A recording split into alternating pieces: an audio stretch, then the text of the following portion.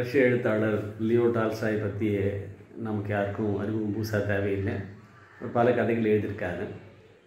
அவரோட கதைகளில் three questions மூன்று கேள்விகள் அப்படின்ற கதையை நாம் வந்து இப்போ பார்க்க போகிறோம் ஒரு ஊரில் ஒரு ராஜா இருப்பார். அந்த ராஜா வந்து அவருக்கு வந்து ஒரு சந்தேகம் வந்துடும் என்ன சந்தேகம்னா எது வந்து சரியான நேரம்? யாரோட நாம் வந்து அடிக்கடி கலந்துரையாடணும்? எந்த வேலை நமக்கு சரியான வேலை? ஒரு ராஜாவுக்கு வந்து கேள்வி வந்துடுதுன்னு சொன்னாக்கா எவ்வளோ பெரிய ஒரு பிரச்சனையாகும். அவரோட மந்திரிகள்லாம் கலந்து பேசி பதில் சொல்ல அவங்களுக்கு தெரியாது. அதனால் வந்து ஒரு அறிவிப்பு அறிவிச்சிருவோம். யார் வந்து சரியான விடையை சொல்கிறாங்களோ அவங்களுக்கு சன்மானம்னு சொல்லிட்டு ஒரு அறிவிப்பு அறிவிச்சிருவோம்னு சொல்லிட்டு நம்ம ஊரில் முறை சரைகிற மாதிரி அந்த ஒரு ப்ரொக்ளமேஷன் சொல்கிறாங்க அதை பண்ணுறாங்க பல பேர் ராஜாவோட சந்தேகத்தை தீக்கிறதுக்கு வராங்க. வந்துட்டு அவங்க வந்து கலந்துரையாடுறாங்க. முதல் கேள்வி வந்து எந்த நேரம் இத்தனை நேரம் எந்த வேலை செய்யணுன்ற கேள்விக்கு பண்ணும்போது ராஜா வந்து பேசாமல் ஒரு கால அட்டவணை தயார் பண்ணிக்கலாம்.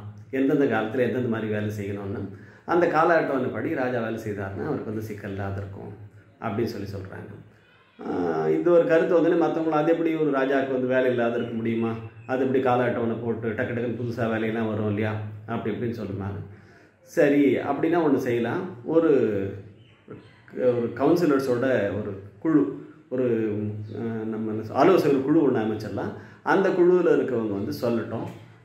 அந்த சொன்னாக்கா அதுக்கேற்ற மாதிரி அவர் வந்து செய்யட்டும் போது இதுவும் கஷ்டமாச்சு. ராஜாவுக்கு அடிக்கடி ஏதாவது முடிவு எடுக்க வேண்டியிருக்கும். அந்த நேரத்தில் போய் ஒவ்வொருத்தரையும் கேட்டுட்டு இருக்க முடியுமா?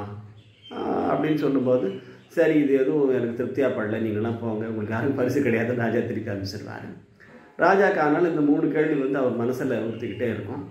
சரி நாமளாக போகலாம்னு சொல்லிட்டு அந்த ஊரில் ஒரு சாது ஒருத்தர் இருப்பார். ஒரு முனிவர் வச்சுக்கோங்களேன் ஒரு சாது. ஹெர்மிட் அப்படின்றாங்க அந்த மொழியில். அவர்கிட்ட போயிட்டு கேட்கலான்னு சொல்லிட்டு போகிறாரு அவர் என்ன அவரோட முக்கியத்துவம்னு சொன்னாக்கா சாதாரணமான ஆட்களை தான் அவர் பார்ப்பார். பெரிய ராஜாவை மந்திரிகள் அந்த மாதிரி ஆட்கள்லாம் பார்க்க மாட்டாங்க. ஆனால் ராஜா அவ்வளோ அந்த அவரோட இடம் அவருடைய வசிக்கூடிய இடம் இருக்கிற இடத்துல போகிறாரு தன்னோட படைவர்கள்லாம் தூரம் நிறுத்திட்டு அவரோட குதிரையிலேருந்து இறங்கி சாதாரணமான ஒரு ஆடையை போட்டுக்கிட்டு அவர் வந்து அந்த துறவியை சந்திக்கிறதுக்கு போகிறாரு துறவியை சந்திக்க போகும்போது துறவி வந்து ஒரு மண்வெட்டி எடுத்து செடிகள் நடுறதுக்கு பாத்தி வந்து தயார் பண்ணிக்கிட்டு இருக்காரு. இவர் போன உடனே வணக்கம் சொல்கிறாரு ஒரு வணக்கம் சொல்லிட்டு அவர் பாட்டுக்கு ஒரு வேலை செஞ்சுருக்காரு. பெருசாக இவரை அவர் கண்டுக்கல.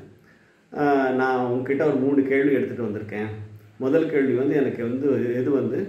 எந்த வேலை செய்யறதுக்கு எது சரியான நேரம்? நான் யாரோட வந்து கலந்துரையாடி வேலைகள் செய்யணும்? எனக்கு வந்து எது முக்கியமான வேலை? இது மூணுத்துக்கு சொல்லுங்கன்னா அவர் காதில் வாங்காத மாதிரி அவர் பாட்டு வேலை செய்துட்டு இருப்பாரு. கொஞ்சம் நேரம் ஆகும். இவர் வந்து ரொம்ப களைப்படைஞ்சிடுவார். சரின்னு சொல்லிட்டு மூச்சு வாங்குறதுனால இவர் ராஜா வந்து அவருடைய மண்வெட்டியை வாங்கி அவர் வந்து ரெண்டு பாத்தி வந்து போடுவார். ரெண்டு பாத்தி போடுவார். போட்ட உடனே ராஜா கொஞ்சம் களைப்பாக்கும்போது துறவி வந்து கேட்பார் கொடுங்க. நீங்கள் ரொம்ப களைப்பாயிட்டீங்க நான் பண்ணுறேன்னு ராஜா கொடுக்க மாட்டார் நானே பண்ணுறேன் தொடர்ச்சியான்னு பண்ணிகிட்டே இருப்பார்.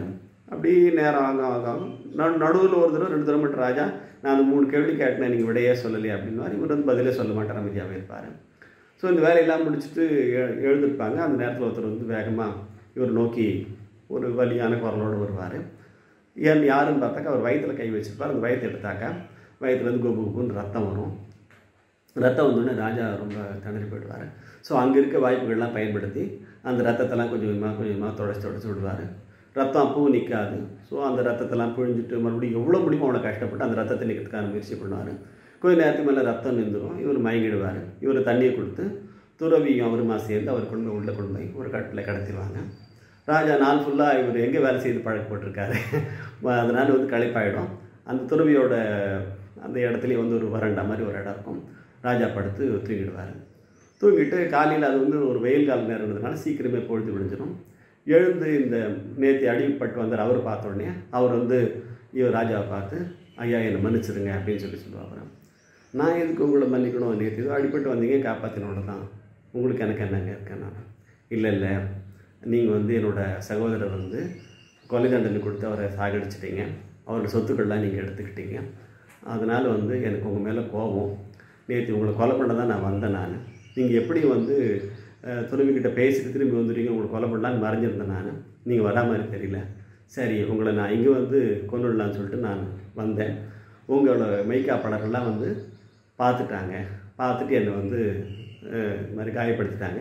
இருந்தாலும் அந்த வேகத்தோடு எப்படி உங்களுக்கு கொண்டு வேகத்தோடு நான் வந்தேன். ஆனால் உங்களை கொல்ல வந்து என்னை வந்து நீங்கள் காப்பாற்றினீங்க எனக்கு வந்து உங்கள்கிட்ட என்ன சொல்கிறதே தெரியல. காலத்துக்கு நான் வந்து உங்களுக்கு வந்து ஒரு நம்பிக்கையான பணியாளனாக இருக்க ஆசைப்பட்றேன்.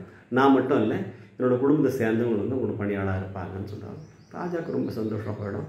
சரி உடனடியாக அவங்களை வந்து ராஜாங்க மருத்துவர்கிட்ட அனுப்புகிறேன் உங்களுக்கு உடம்பெல்லாம் சரியாகட்டும். ஏன் நீ நீங்கள் தவிர எடுத்துக்காதீங்க. உங்களோட அண்ணனோட சொத்துக்கெல்லாம் நான் உங்களுக்கு திருப்பி கொடுத்துட்ற மாதிரி சொல்லி உங்களை முடிச்சு ஒரு அனுப்பிச்சி விட்ருவார் இப்போ துறவிக்கிட்ட ராஜா வருவார். வந்து நான் வந்து மூணு கேள்வி கேட்டேனே. அதுக்கு பதிலே நீங்கள் சொல்லலையே அப்படின்னு உடனே இப்போ தான் துறவி முதல்ல பேசுவார். இந்த மூணு கேள்விக்கு வந்து விட உங்களுக்கு எப்போ கிடச்சிருச்சு அப்படின்வாரு விடை கிடைச்சிருச்சா எனக்கு கொஞ்சம் புரியுற மாதிரி சொல்லுங்கள் அப்படின்வாரு ஒன்றும் இல்லை நீ வந்து நேற்று வந்த நீ வந்த நேரத்தில் நான் வந்து வேலை செய்துக்கிட்டு இருந்தேன். வேலை செய்யறதை நீ பார்த்துட்டு என்கிட்டேருந்து மண்வெட்டி வாங்கி நீ வந்து வேலையை செய்துட்டு இருந்த. நீ வந்த இல்லையா? அந்த நேரம் தான் உன்னோட நேரம் வேலை செய்ய வேண்டிய நேரம். உன்னோட கூட நான் இருந்தேன் இல்லையா? எனக்கு உதவி பண்ண நினச்சல நான் தான் உனக்கு முக்கியமான ஆள். நான் செய்திருந்த வேலையை நீ செய்தல்ல. அதுதான் உனக்கு முக்கியமான வேலை. இவனுக்கு இன்னும் புரியலன்னு நீ யோசிச்சு ஒருவேளை நீ வந்து எனக்கு என்னோட வேலையும் செய்யாத. நீ போயிருந்தீன்னா அவன் வந்து உன்னை தாக்கியிருப்பான் நீ இறந்துருப்பேன் ஆனால் அதற்கு பதிலாக நீ இங்கே இருந்ததுனால நீ வந்து பழைச்சனே அது மட்டும் இல்லை இன்னொரு சம்பவம் நான் சொல்கிறேன் அவன் வந்து உங்ககிட்ட வந்தான் இல்லையா? அடிபட்டு.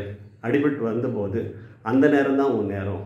அந்த நேரத்தில் அவனை நீ வந்து காயத்தை வந்து குணப்படுத்தினேன் அந்த நேரம் வந்து அவன் அந்த அந்த நேரம் தான் உன்னோட நேரம். அவரோட காயத்தை குணப்படுத்தினது தான் நீ செய்ய வேண்டிய வேலை. அந்த நபர் தான் நீ கவனிக்க வேண்டிய நபர் அதனால் வந்து எந்த வாழ்க்கையில் எந்த நேரம் வாழறமோ அந்த நேரம் முக்கியமான நேரம். நம்மோட கா கூட யார் இருக்காங்களோ அவங்க தான் முக்கியமான நபர். நாம் செய்திருக்க வேலை தான் முக்கியமான வேலை. அப்படின்னு ராஜா சொன்னேன் ராஜா ரொம்ப தெளிவு வந்து ரொம்ப நன்றின்னு சொல்லிட்டு அவர் வந்து ராஜா அங்கேருந்து போவார். லியோ டால்ஸ்டாய் அற்புதமான கதைகள் படிச்சிருக்கக்கூடியவர் வந்து. இந்த கதை மூலமாக வந்து ஒரு மனிதன் அவனோட நிகழ்காலத்தில் வாழணும். நிகழ்காலத்தில் கூட இருக்கவங்களோட அனுசரணையாக இருக்கணும். நிகழ்காலத்தில் செய்யக்கூடிய வேலையில் கவனம் செலுத்தணுன்ற விஷயத்தை சொல்லி முடிக்கிறார் ஒரு அற்புதமான கதையாக இதை நான் பகிர்ந்துக்கிறதுல ரொம்ப நன்றி சந்தோஷம்.